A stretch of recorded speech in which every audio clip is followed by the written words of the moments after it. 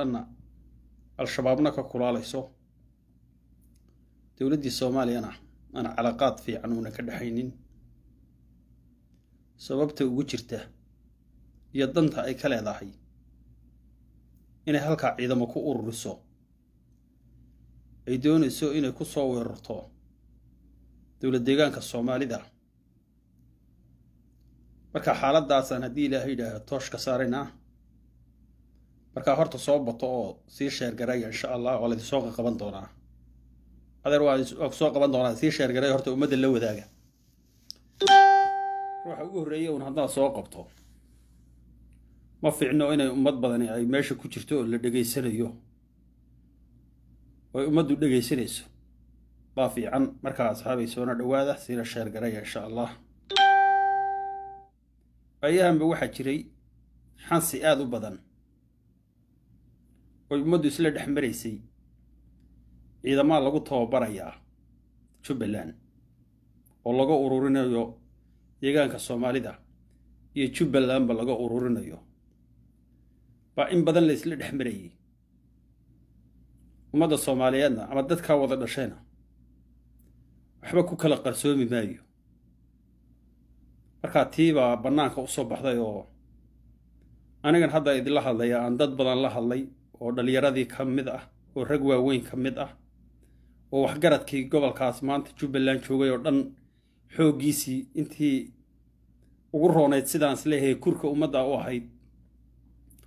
Baan shaksi walba la hadlay oon xidhiidho adag la sameeyey intay hawshani soo baxday ama qoraallada aan soo qorqorayey ama aan leef xalay mar aan ka soo galay oo aan meeshaydan ka saaray leefkii oo xogaa intuu xumaaday aan ka saaray marka mad badan baa ila soo xidhiidhay oo maanta jubbaland ku sugan oo aan waayahanba xidhiidh hoose wada lahayn. Marka waxaa xaqiiqowday inaa dhallinyaro fara badan oo gobolladaas laga ururiyey dhulkaas soomaaliyeed ee somaali state laga ururiyey oo aagga u badan qorixay u badan laga ururiyey iyo ciidankii hore ee new booliska ee dhulkaas soomaaliyeed gaboodfallada ba'an ka geystay ee dembiilayaasha ahaa ee wada kriminaalka ahaa. Ee ninkan axmed madoobe la yidhaaho goortii uu xukunkii cabdiiley uu ku dhacay xaggaa u cararay. Uu hoosta soo wada gashaday axmed madoobe. Kooxdiibaa maantana halkaa jabhad ahaan loogu ururiyey oo la doonayey markay t b lf soo dhowaato. Inaad dhinacan lagaga soo dhufto oo sidaa lagu qabsado oo ay etoobiyana la wareegto t b lf la wareegto iyo kooxihii awalba la shaqaysan jiray. Inay sidaa gobolka kula wareegaano kooxdii awal xaggan haysan jirtayna xaggan kaga qabsato. Kooxdii hore t b lfna ay xaggaa soo qabsato oo xukunka etoobiya guud ahaan ay ugu sarrayso. Fikirka noocaasa baa la waday. Jabhaddiina maanta waxaad mooddaa la ururinaya waayahanba hawsheedii iyo kharashkeedii lagu rafaaday. In annaguba annagoo khabar maadaaroo lilaahi oo daacad ah oo halgankayagii iyo qadiyadayadii daacaduunu ah. Aan annaguba dhaqaalaha wax badan ku lahaynoo naan waxba ogeyn. Maantase ilaahay baa xaqii iftiimiyadoo bannaanku u soo baxay. Marka asxaabay soo dhowaada warar badan baan idii hayaa. Dad badan oo waxa laga yaabaa shakisan dad badan oo laga yaabaa inay aniga intii dambe si xun intay ii arkeen.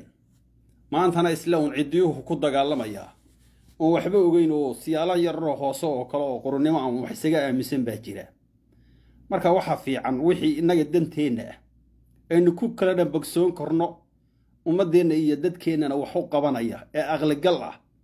Inaan isula nimaadno unbaa fiicana inaynu been isku haasaawinno ama aynu fikirro xunxunoo hoose oo inu gubeednimo aynu ku wada dhaqanno.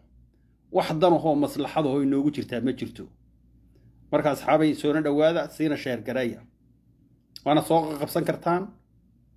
Warar badan baana idinka hayaa dhallinyaradii la qalday ama kuwii hore ee new booliska ahaa ee gobolkaas soomaaliyeed gaboodfullada ka geystay ee shacabkii gobolkaa xasuuqay ha ahaadaan ee new booliskii cabdiilay ku shaqaysan jiray ha ahaadaan ama dhallinyaro badan oo kale oo laga dabageeyey ha noqdaane. Dhammaan dhallinyaradii warar badan baan idinka hayaa oo dad badan baan ilaa dhowr iyo toban ah baan kala hadlay oo rag waaweyn oo wada macquul ah baan kala hadlay. Iina sheegay inay xaaladdu ku qasan tahay oo maanta jid iyo jahaya u dhaqaaqaan midna aynan haysanin. Fikirkii markii hore loo sheegay ee meesha lagu geeyena uu socon waayey. Cidda waashane ay ahayd. Dad badan oo aynu moodayno wadaniin aynu moodaynay oynu allawadeyda un oo ugu horreeyo ninkan guddoomiyaha ummadda reer ogaadeen iyo markii ugu dambeysay ay ku ogeydeen maadday. Wakhtigii intii goday lagu soo doortay doorashadii jujuubka ahaydee sida qaladka ugu soo baxay. Ummadda badan say aqlabiyan la aaminsan yahay. Doorashadii uu ku soo baxay aanu kuba raacnay. Wakhtigii intii la doortay uu halkaas iyo nairobi u cararay oo saddexda bilood iska fadhiyey waxaa lagu abaabulayay un jabhad baa lagu abaabulayay oo isaga iyo ninkii la odhan jiray maxamed cumar cismaan waxaan u jeedaa wadaadkii ahaa maxamed ismaaciil iyo ninka la yidhaaho diirane iyo ninka la yidhaaho ugaas maxamuud maxamed ugaas maxamuud ugaas iyo ninka la yidhaaha nuur faatulle iyo diirane intaasaa jabhaddan hogaamisa halkaa lagu abaabulaye. La doonayo inaa kursiga lagu qabto oo t b l fna dhinaca looga hiilinayay gobolkeennana sidaa lagu qabsanayay. Intaasaa hogaamisa. Dhaqaalaha ugu faraha badan iyo taageerada ugu faraha badanna ninka bixiye wuxuu ahaa. Ninkan la yidhaaha axmed madoobe ee maanta gobolkaas soomaaliyeed xukuma ee jubbaland xukuma. Oo si aan la garanaynin oo qaawan oo ummadda soomaaliyeed ee maanta uu matelana uuna ugu danaynaynin. Tii uu ka soo jeedaye dhulkaas maanta soomaaliyeed ee somaali state. Uu ogaa dhibaatadii shalay ummaddiisaas iyo dalkiisaa ku soo dhacdayna wuu ogaa. Waxaad mooddaa inuuna midna u daynanin inuu eeg inuu eegtay wada dhalasho uun inuu eegay. Baa maanta meesha ka cad marka asxaabay soona dhowaada siina sheergareeya oo soo qaqabsada. Kollay ummadda inta badan waxaa istirahaa wararkani wax jira ma ah ummad badan oo guuxaysa oo haddana nin weliba leeyahay war waxani ma dhici karo. Baa jira. Wuxuu da markuuna meesha geli karin. Wuxuu markuuna meesha geli karin. Waxaad odhanaysaa waxani wax macquula meehee niyo wax aqligala noo sheeg baad qofka odhanaysaa waa waxaadan meesha ka eegin inayn suurtagal ahayn wey adigase waxaan suurtagal kula ahayneen eedan qaadanaynin. Dad bay u tahay malab u tahay oo ilaahay uga dhigay malab. Waan soomaalida waxay tidhaahaa ruuxay meele u caddahay. Meele u madowbaa bay soomaalidu tidhaahaa waxaa lagu xisaabtama uun sidii cabdi ileyna loogu birman lahaa. Sidii cabdi iley iyo tigreena loogu birman lahaa. Kursigaas madowna sidii loo qabsan lahaa taasunbay ummaddani ku xisaabtamaysaae waddaniyad kale iyo soomaalinimo kale iyo walaaltinimo iyo iyo gobolkaas iyo dadka wixii shalay ku soo dhacay ee loo soo babaynayo. Ummaddani ma ogee waxaa ugu muuqdata keliya kursi keliya baa u muuqda. Axmed madoobena hadduu wax kala garanayo oo qof soomaali ahoo caadi ahoo wax kala garanaya hadduu yahay afarta dhan waxaa kaga xeeran al-shabaab baa kaga xeeran. Ummaddii soomaaliyeed ee gobolkaas lahayd ee soomaali oo dhan ay ka koobnayd. Maanta hal qabiil ahoo soomaali ahoo arki karaa ma jiro. Qof waliba maanta wuxuu taagan yahay akh buu taagan yahay oo xaaladdu waxay ka maraysaa. Meel xun oo dhiin jaray xaaladdu ka wada maraysaa. Soomaalida maanta jubbaland degan. Habeen iyo maalinba waxaa dad baa isoo wacaya. Arbaco ishirin saac dad baa isoo wacaya shacaba oo ku dhiman jubbaland oo soomaalida ilaahay ka kooban. Uu nin weliba leeyahay dhulkaygii iyo boosaskaygii iyo beerahaygii baa laygu qabsaday oo meesha halaaggii adduunka ugu xumaa baa ka socda bay leeyihiin dadka soomaaliyeed ee deggan. Oo maantadana ugu dambaysay maantadana ugu dambaysay ay igala soo hadlayeen gabdho dhulkoodiiba laga qaatay iyo beerahoodiiba laga qaatay ay la soo hadlayeen. Marka haddana iyadoo maanta axmed madoobe ummaddii soomaaliyeedba uu sidaa ku yahay oo maanta beel soomaaliyeed uu matalo oo arki kartaaba uuna jirinoo xoogun lagu haysto. Oo haddana dowladdii soomaaliya la og yahay xaaladda iyagiyo dowladdii soomaaliya kala dhex taalle uu og yahay. Tii etoobiya iyo xaaladda isaga kala dhex taalle uu og yahay. Haddana inuu ummaddiisii uu mishinno u qoolo. Uu raggii shalay dadkiisii iyo ummaddiisiiba soo xasuuqay. Uu hoosta soo gashado. Waxaan u malaynayaa qofkii damiir lahoo dhan inuu la yaaba yahay una malayn maayo sidaas inuu maanta ku sii xukumi doono wixii hadda ka dambeeya. Inuu ummadda soomaaliyeed sidaa ku sii haysan doono oo qori laysku sii hayn doono uma malaynayo.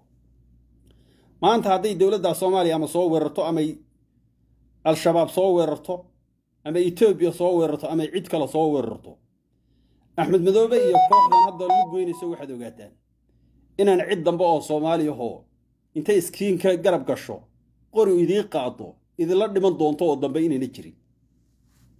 Maamulka jubbalandna siduu u dhisan yahay waa la ogyahay. Maamulka jubbaland ahna ahna ahna ahna wey. Idinkuba waad ogtihiin dadkiinan hadda daawanayo waad ogtihiin meeshu waxay noqotay boqortooye noqotay. Boqortooye haba iska ahaatee. Bal ummaddii macquulka ahayd ee jeyga la lahayd ee la deganayd hadday dad isku wadayo aadda yihiinoo wax badanna ilaalinaya. Dadka jaarkaa iyo dadka ehelkaana ilaalinaya hadday yihiin. Waxbaba ma ahaateenoo aniga laftigaygu waxaan islahaa war bal intaa yaree hadda maamul goboleedkaa keliya. Baad maanta meel xornimo lagu tilmaami karo oo caadi ah oo laydinku matalaba oo laydidhaaho meeshaasaad leedihiin halkaasaa jirtee bal dhibaato walba iyo hoog walba oo ad qabtaan iska qarsada un baanu lahay. Balse hadda dadkii dhallinyarada ahaa ee ka soo jeeda gobolka jarar ee maanta jubbaland joogaay. Kama dubwana nin onelef ahoo maqalo joogo wakhtigii halganka lagu jiray. Nin onelef ahoo maqalo ka soo dhex toosay. Wallaahi inuuna ka duwanayn qofka reer jarareedka ee maanta jubbaland joogaay. Waxay ii sheegayaan dhallinyarada halkaa joogtaay. Inayna maanta dagaalla la geli karin oo maamulka jubbaland ayna dagaal la geli karin. Oo ciidamada iyo dadka ka joogaay ay ciidamada iyo dadka uun ku kala dhex firiidhsan yihiin qaab ay isugu yimaadaan ay ku wada tashadaan oo xaaladdan uga hortagaanoo oy ku midaysan yihiinna ayna jirin oo xaaladoodu ay ku adag tahay. Dad dhinac u soo baxsan karo oo gobolka iskagaba soo bixi karo oo maanta jid soo mari karaana inayna jirin inay afarta dhanna kaga xeeran tahay al-shabaab. Kuwa ay ku dhex jiraanna inay t b lf yihiin xaalad khatara ku jiraan. Bay dhammaan dhallinyarada reer jarareedka ee maanta jubbaland ku sugan bay sheegayaan dhammaan beelaha kale ee soomaaliyeed ay wada joogaano guud ahaantoodna waa wada sidaa waxaa la dalla ii sheegay toddobaadkii la soo dhaafay. May horta waxaan idinku noqonayaa. Waxaan idinku noqonayaa ta ciidamada halkaa lagu ururinayay ciidamadii halkaa lagu ururinayey sida la ii sheegay dadka dhallinyarada ah ila soo hadlay ay ii sheegeen. Tiradoodu waxa weeye shan kun shan kun oo dhallinyarada weeye oo ciidankii hore nayu booliska ah iyo ciidan yaryar oo dhallinyaro ahoo laga ururiyey qoraxay laga ururiyo u badan. Aqlabiyan marka la yidhaaho. Dhallinyaradii weeyaan. Dhammaanna dhallinyarada waxaa lagu qaaday. Axmed madoobe baad waxaad u noqonaysaan. Axmed madoobe baad waxaad u noqonaysaan ciidan oo weliba waardiyaasha baad u noqonaysaan axmed madoobe. Waxay igu wada dhaarteen inaan nin walba loo ballan qaaday. Siddeed boqol oo dollar baad bishii qaadanaysaa oo madaxweynahaad ilaalinaysaa oo ilaaladiisaad noqonaysaa bay toddobada dhallinyarada ahee ila soo hadlay buu nin waliba iigu dhaartay iyagoo xitaa qaarkoodaan isla jooginba iigu dhaartay nin waliba. Sidaad hadda ka war haysaan dadka reer jubbaland joogow sidaa ilaahayna ogyahay idinkuna aad og tihiin xooggiinnu. Hadda waxaa jirta labiyo toban dhallinyaro ah oo jeelka kismaayo ku jirta oo ciidankaa ka soo goostay oo ninka ugu weyni uu labaatan jir yahay. Dhammaantood waa labaatan jir siddeed iyo toban jir toddobiyo toban jir. Ciyaal baa meesha lagu soo ururiyey la doonayey inaad t b lf loogu heliyo oo gobolkeennana lagu weeraro. Oo agoontii shalay la soo baabi'iyey ehelkoodiiyo aabbayooshood la soo baabi'iyey la doonayay inaad dhinacan haddana lagaga dhufto oo gobolka un lagu qabsado. Ummadda gobolkaa ka soo jeedaana dankama lehee waxay dan ka leeyihiin keliyata waxa weeye kursi inay qabtaan keliya xaalkoodu. Markaa dhallinyaradii toddobaad dhallinyaraa baan la hadlay.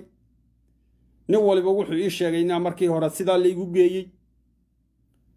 Maanta markiise qoladii t b lf la jebiyey unbaa naloo sheegay.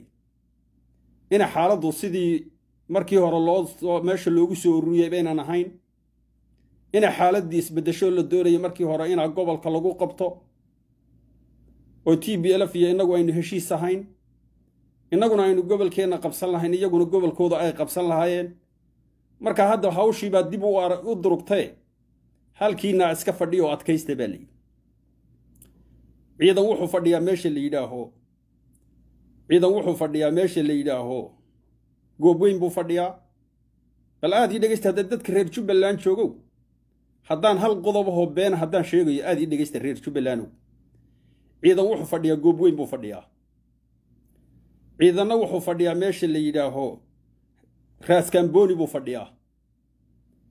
Ciidanna wuxuu fadhiyaa meesha la yidhaaho taar taar meesha la yidhaaho.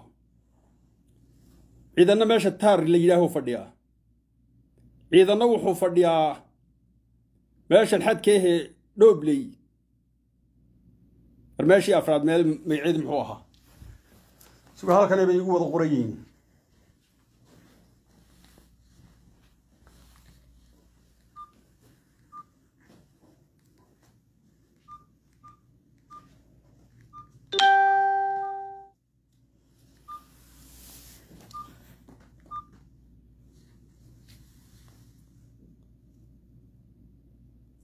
Taab weeye meesha kale taab baa la yidhaaha.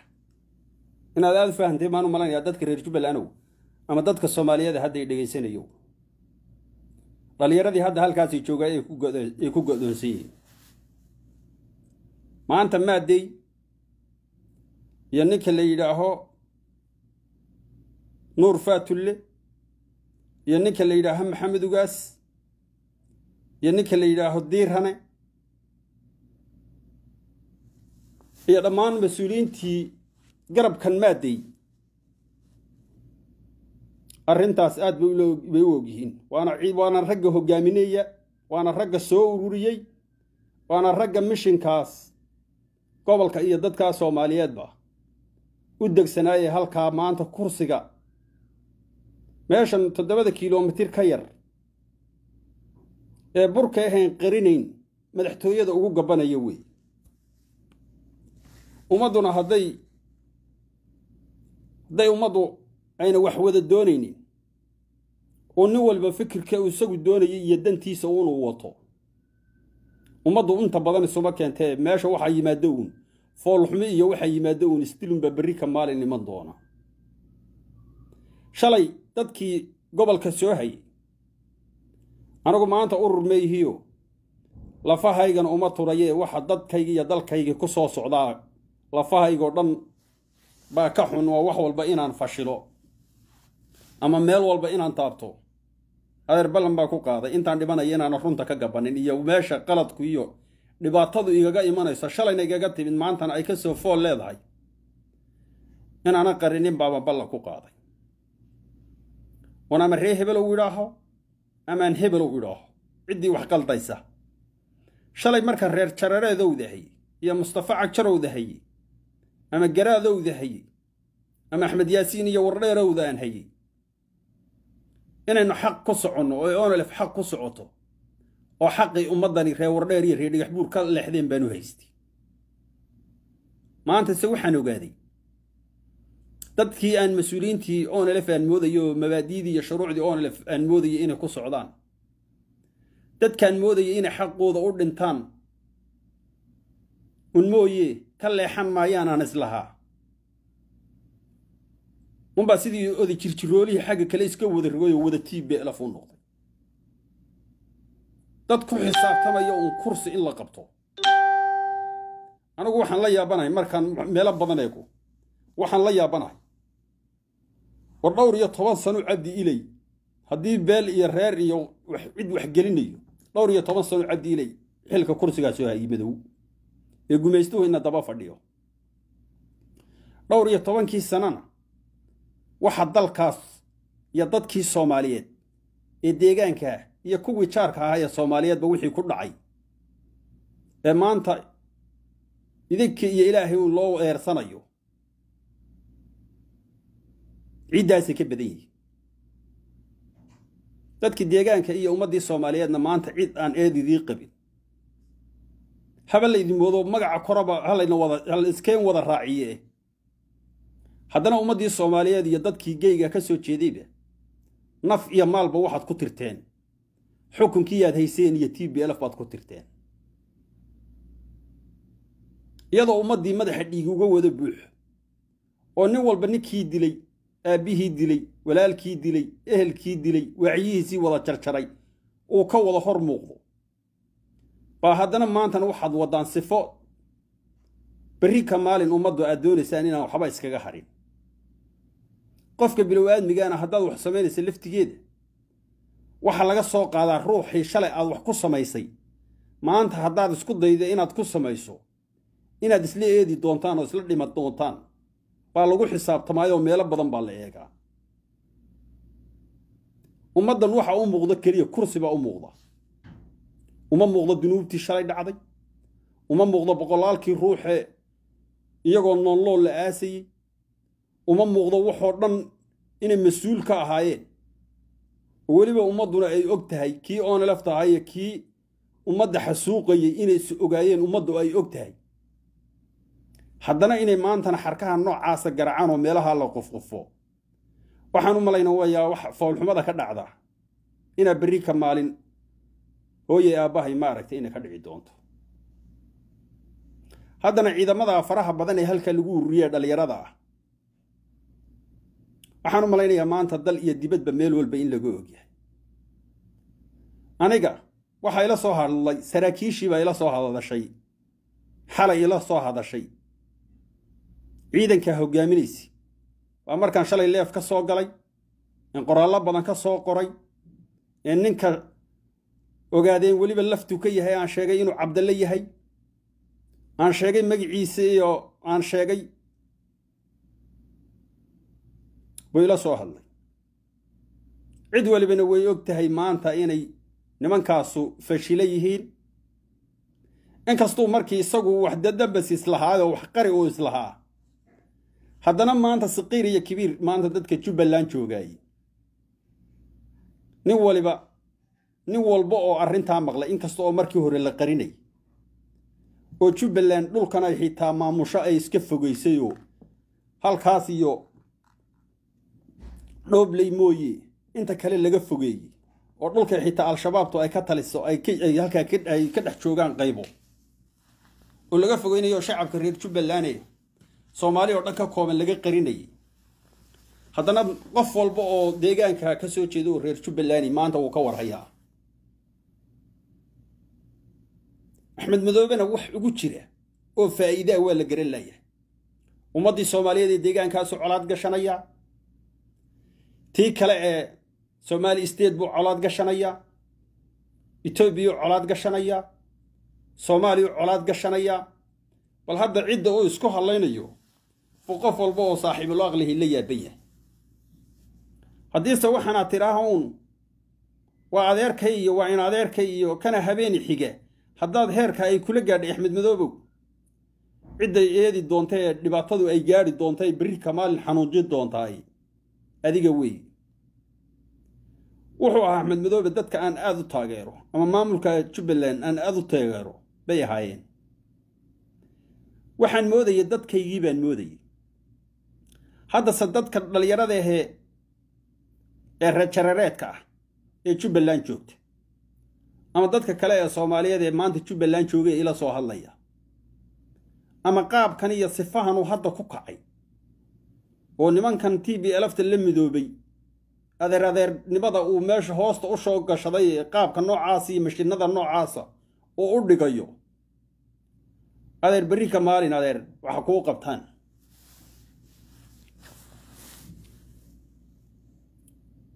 Dadka noocaasi berri ka maalin axmed madoobow waxa kuu qabtaan oo kursigaa kugu hayaan. Ilaahay maaddii waxaa ah. Inaad shalayba arkaysay dhammaan beelihii soomaaliyeed ee reer jubbaland wixii aad dhoobdhoobaysa oo dhanna inay diideen oo jirib weliba uu ka soo saaray war saxaafadeed ka soo saaray. Adigana hadda wakhtiga kaaga hadha inay yar tahay. Waxaad hadda dadka soomaaliyeed iyo weliba dadka gobollada ka soo jeeda aan ka hadlayey ee reejarareedka ah ee maanta ka reer jubbaland joogaay aad moodid inuu nin oonlef ahoo maqalo dhex taagan inuu yahay walle oo bille oo talle aday ku anfici doontaa bal sii sheergarayo gaadhsiiya bal. Guruubyadooda ku sheergareeya adeer guruubka reer jubbaland ku sheergareeya kollay dad badan oo reer jubbaland ahoo ay daawanayana waan arkaaye. Carbal ruuxa bal ninka reer jubbalana ee soo qabsan kara ee arrintaa beenin kara ee hadda jubbaland joogow. Car soo qabsada wallaahi waxaan idiin sheegi nin walba magaciisii oo saddexan iyo kuwa xidhan magacyadoodii oo wada saddexan baan wallahi idiin sheegayaa.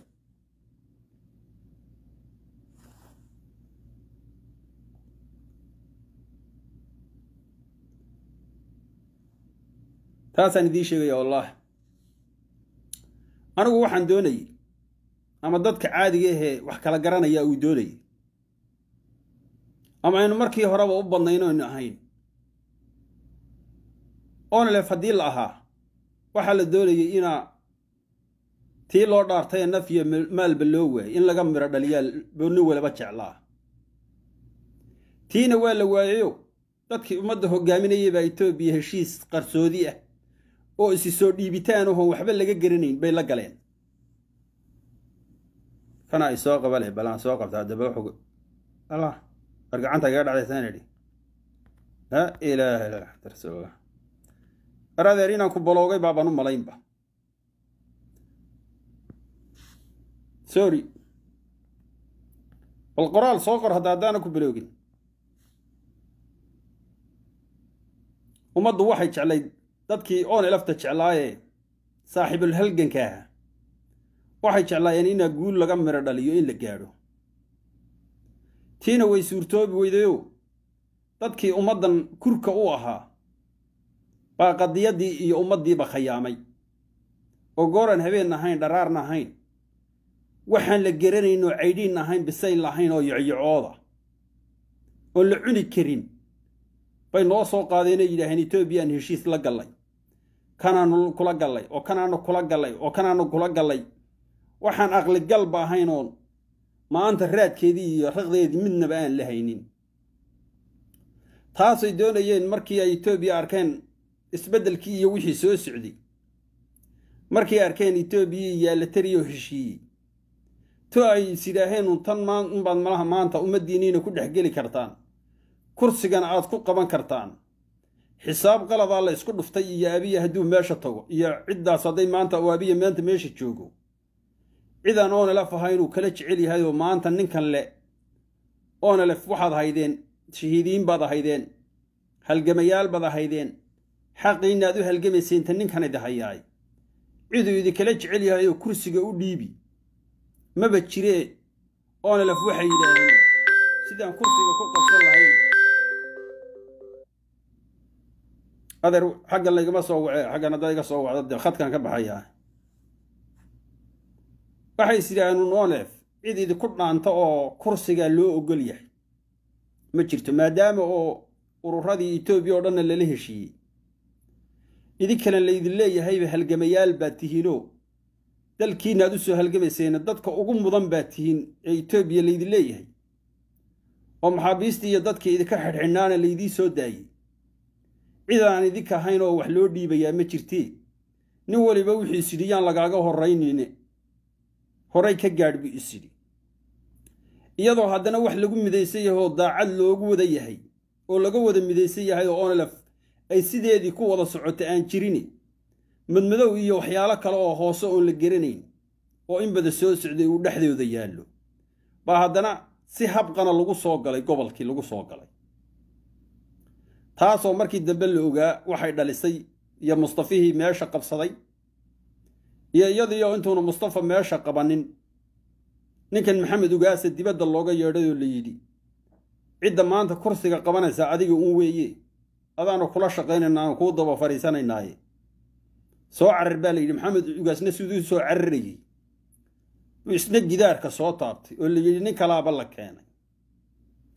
Onelefna sidaas buu hoggaanka ugu go'ayoo meeshii islahayd cideedii ka mudan oo qaban doontaa ma jirto. Sidaasuu onelefna hoggaankii ugu go'ay.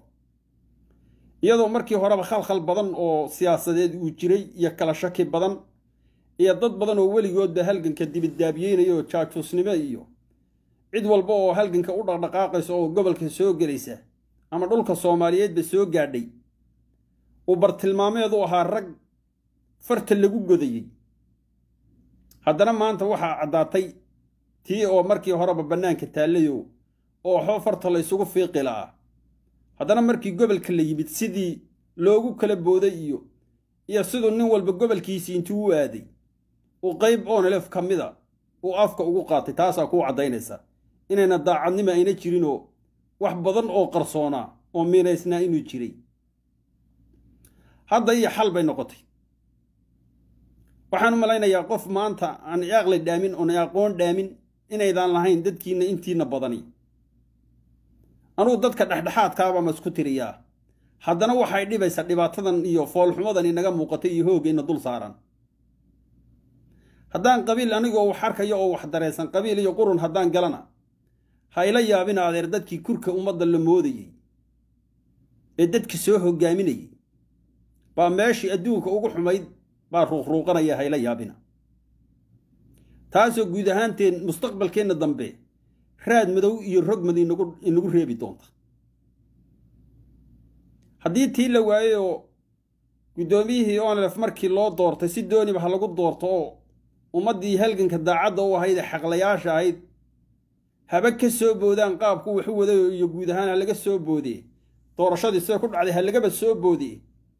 Haddiiba se la ysaga oggolaaday maaday halkaas iyo wuxuu u booday. Nairobi buu u booday. Saddex bilood buu nairobi buu iska soo fadhiyey. Adaa kaad arkayseen sidii loogu soo dhoweynayey kenya loogu soo dhoweynayey aad moodayseenba madaxweynihii maraykanka aad moodayseene ciidamada aad arkayseen kenya oo ilaalinaya.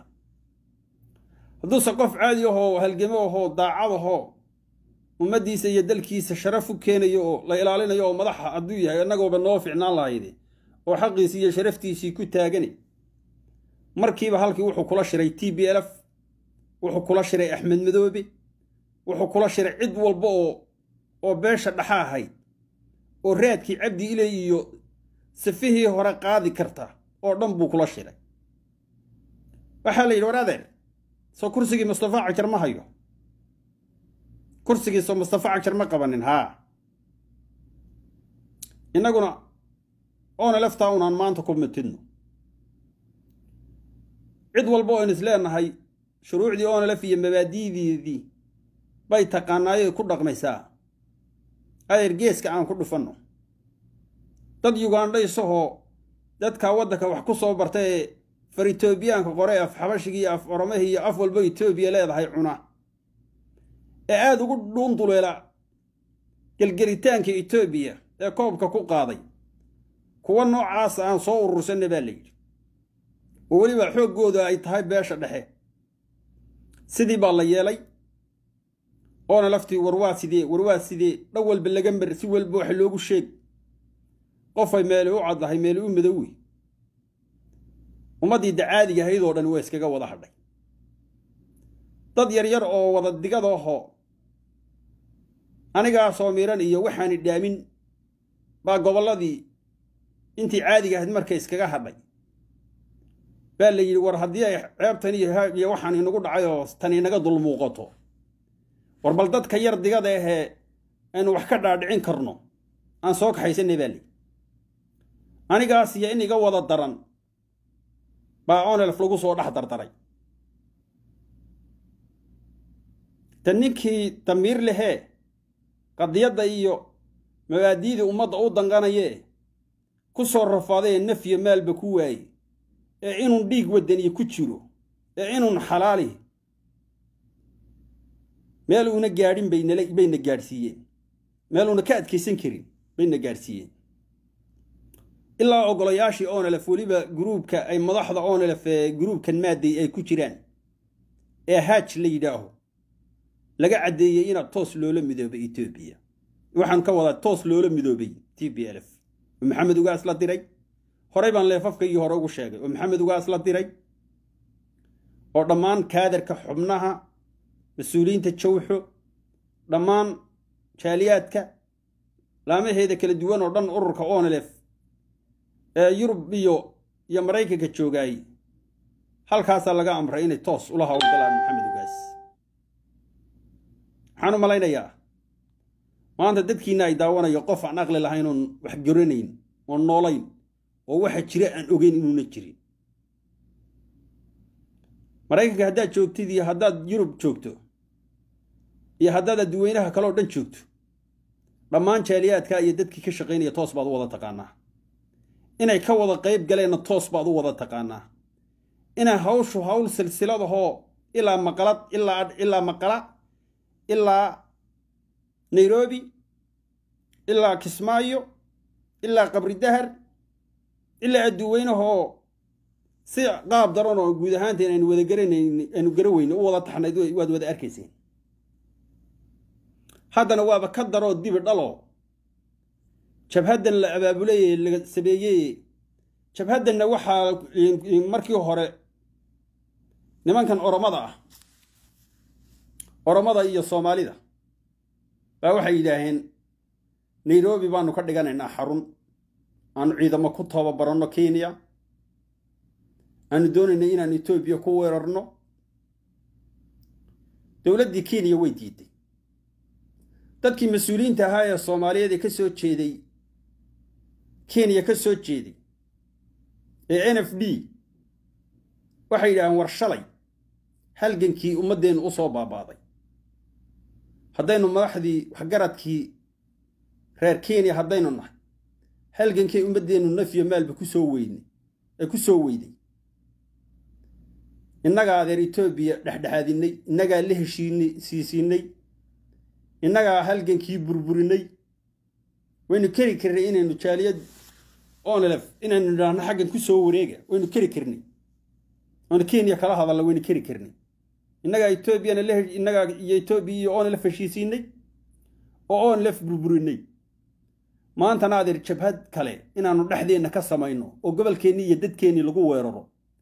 Adeer suurtagal ma aha bay yidhaaheen madaxdii ka soo jeeda kenya ee soomaaliyeed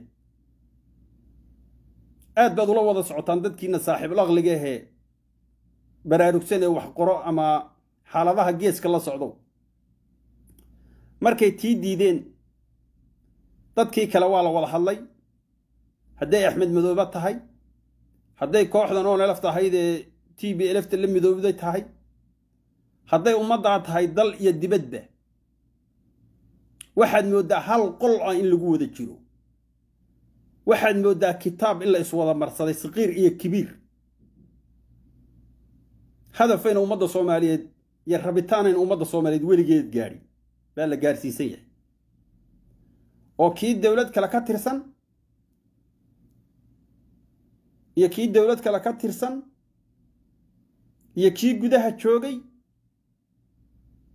iyo kii dal iyo dibadba joogay. Waxaan la kala qarsanaynin oo ilaahay baan ku dhaartay ruux waliba uu yaabayo. Heer abal la wada gaadhay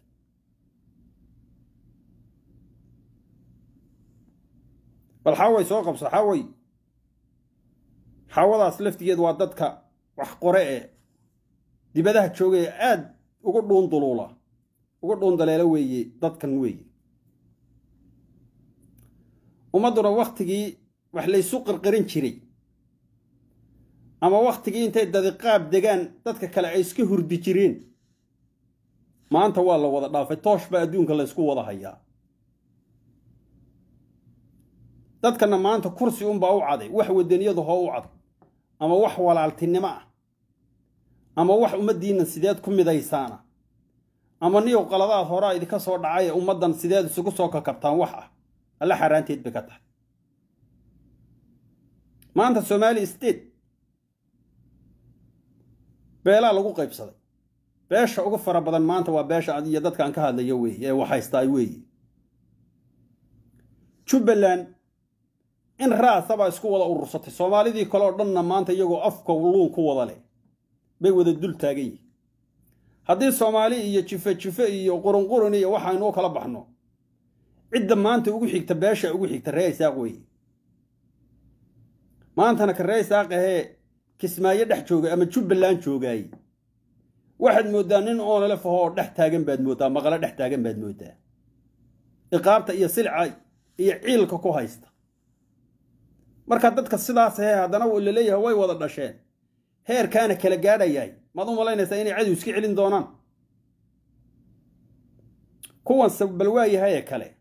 Ee onelef baanu nahay lehay mashinada noocaasa dhigayaay hadday onelef yihiin oo onelef caadiya yihiin oo mabaadi'dii iyo shuruucdii ku dhaqmayaan.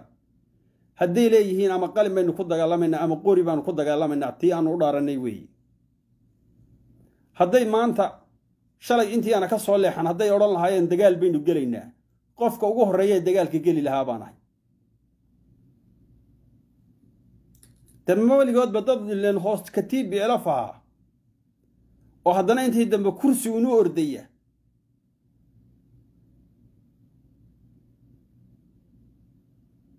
biyaa la kari taas. Waa maya. Maantana hadday leeyihiin ha la dagaalamo. Oy leeyihiin anagu oona laftii baan nahay waanu baxaynaa. Wax la garan kara weeye oy dagaalamayaan.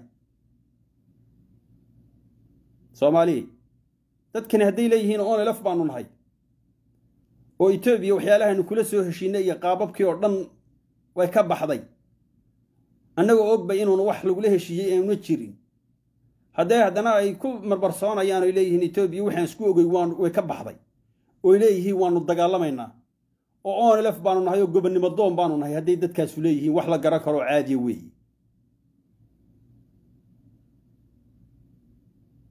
etoobiya heshiis baa lala galay.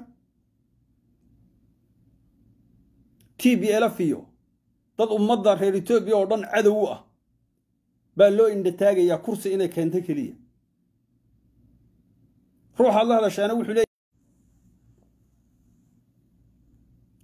t b lf lafti tigree laftigeeda kooxdan t b lftahee dhagarqabayaasha ahaydee dagaalamaysa kooxdaasunbaa etoobiya oo dhan la wada ugaarsanayaae shacabka reer tigree oo dhan lama wada ugaarsanayo.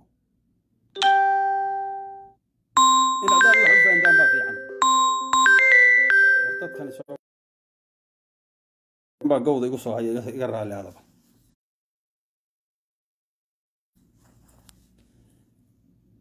waxaa iskenila ethoobiyan heshiis la gallay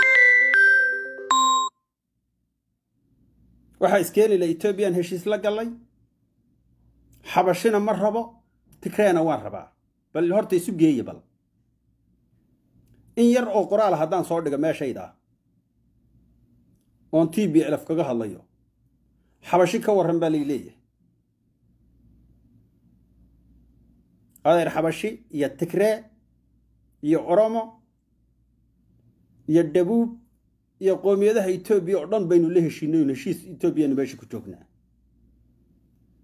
Gobonnimo doon haddaad ahayd ood xaqdoon ahaydna in been la isu sheegi mooye waa laga wada tanaasulay. Maanta ku oonelafahoo gudaha ku jira aniga ruuxan ilaahay ugu dooxay muxuu ahaa habaarku ku dhacay. Maanta ku oonelafahoo ama guda jooga ama dibad jooga yob ruux oonelafahoo maanta ama dibad jooga ama guda jooga. Oo oonelafnimadiisii iyo shuruucdiisii ku taagan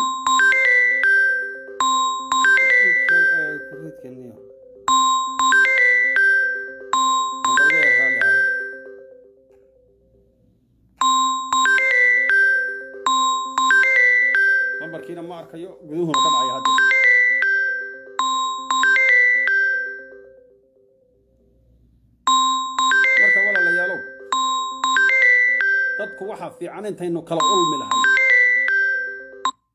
Intaynu mishinada isu dhigdhigi lahayn. Inaynu runta isu wada sheegnaa fiican. Maanta soomaaliya meel walba waa la isku dhegan yahay. Kursi iyo waxyaalo yaroo hoosooso unbaa laysoo haystaayo. Ama koox meesha haysata. Ama kooxo xisbiye ah. Oo ummaddu dhan walba ka wada midaysantaha unbaa laysu haystaaye sideennan hadda qaawanaya inu gubeennimada ummaddu isuma haysato